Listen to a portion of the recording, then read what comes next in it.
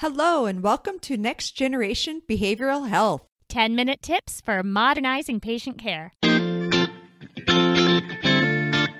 I'm Dr. Christina Armstrong. And I'm Dr. Julie Kinn. Christy and I have been working in the Department of Defense for several years, and our mission is to use technology like mobile phones, internet, games, and other IT information technology to help military and veteran healthcare. In this podcast, we share answers to the most common questions we hear. And we do it in 10 minutes or you get your money back. So, today we're going to be talking about a question we get all the time, which is how can I use apps safely with my patients or clients?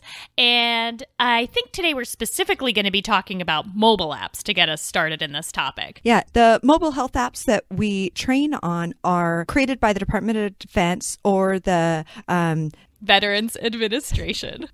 or the Veterans Administration. Sometimes it's called the Department of Veterans Affairs, so it's tricky, but we could just call it VA for short. People, our listeners will know what we're That's talking right. about. Yeah. So, and all of these mobile health applications are free and available to anybody in the world, but they are developed primarily for the military population. The one of the most often asked questions is how do I choose? So the issue is not that there's not enough great high quality mobile health applications out there. The problem for providers seems to be that there are so many great products available that they don't know how to choose. Let me interrupt you for a second. I agree there's tons of really good ones out there, but there's also a lot of stinkers because any mobile app developer can make something that looks legit using really good graphics or taking graphics from a legit agency, but it can be really tricky and confusing to tell is this actually a high quality evidence based mobile app or not? So, how would you go about deciding what's a good mobile health app to prescribe to a patient? I think I would always defer to something that's been developed by a federal agency within the DoD or VA to start with. From our own experience, we hold our applications to a very high level of security. In fact, the highest that's possible at any time. For example, if I'm looking for something to help with anxiety reduction, I would probably check out some of the places where I know I can find government apps. The VA's National Center for PTSD is a phenomenal source. It, Googling VA mobile apps, DoD mobile apps is always going to be a good way to get started, especially since all of these applications are useful for civilians as well as military beneficiaries. What I hear you saying, Julie, is that first thing is pick a trusted source you wouldn't prescribe any resource to a patient if you didn't know where that resource came from. So, the benefit of all these DoD and VA mobile health apps that are available are that we know what's in them, we know the security involved, and we can feel safe prescribing them to our patients. But there's also other good apps out there. You don't just have to stick with DoD and VA. I'd say the second rule of thumb is always test it out myself first. I would never recommend an app to a patient or client that I haven't gone through and tested. Plus, a good trick for mobile apps is that on the apps page on iTunes or Google Play, where it's describing the app to download it, you can always click on the link for the developer's website. And what we recommend in the trainings is before you recommend any app, always click that link and try to and ask yourself, what is the business model here? If it's a government app, you know the business model. It's paid for by tax dollars. Hooray. But if it's a private company, then are they going to try selling you something? Or are there going to be ads or extra features that need to be purchased?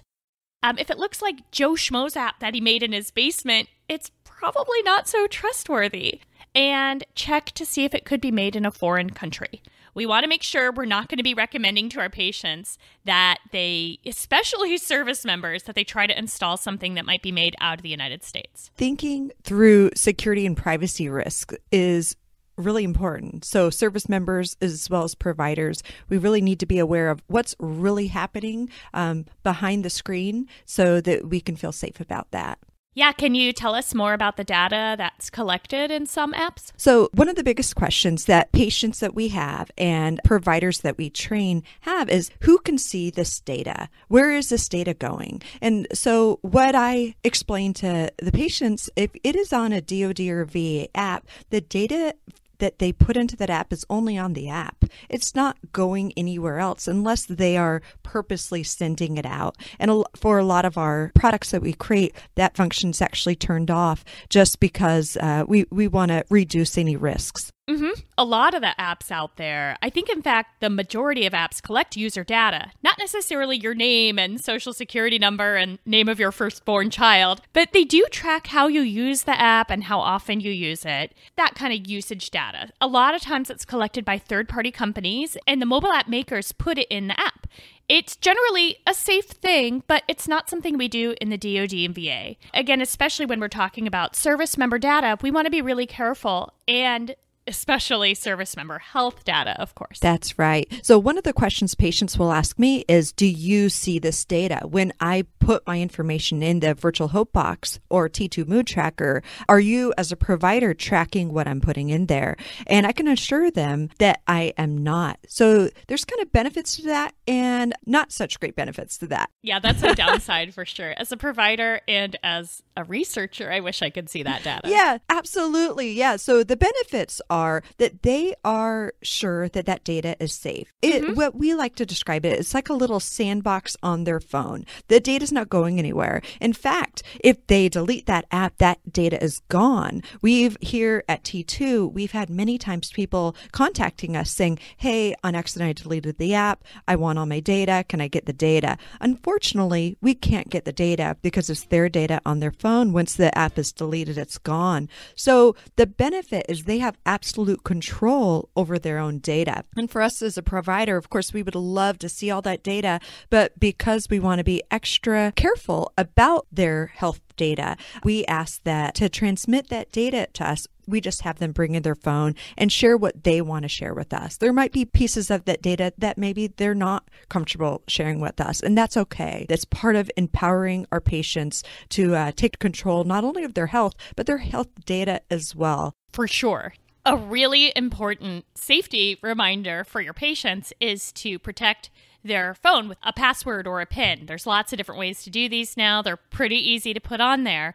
And it's useful for a lot of different ways. One is just you don't want, if your phone gets stolen or missing, for anyone to be able to go in there. Also, it prevents butt dials, which is very useful. A lot of apps that have health information, all the ones that that we put out that have health information stored on the app, we have an additional layer of protection for a pin there. And that's important because if you're giving your phone to your kid to play a game, you don't want them accidentally um oh help me out here. What's that called? The auditory thing that you say in prolonged exposure your imaginary imaginal exposure Thank yeah. you. You might not want others to hear your imaginal exposure. So, these are important things to discuss with your patient, not just data safety, but protecting their privacy. So, Julie. Yes, Christy. Say you have a patient that comes in and they say, Dr. Kinn, I've been having a lot of trouble with anxiety. Um, I've been drinking a lot to cope with this. I'm having a lot of problems with, with my wife. We're having relationship problems. Based on symptoms your patient is describing, how do you choose what mobile app to prescribe to that patient? I would love to talk about that, but we promised to do this in 10 minutes. So I think we're going to have to save that for another episode. And that's called a teaser, folks. This is real professional podcasting here. Next Generation Behavioral Health is produced by the Defense Health Agency. You can learn more about us and our free health resources on Facebook and Twitter at Military Health. Please subscribe and rate us on iTunes or wherever you get podcasts.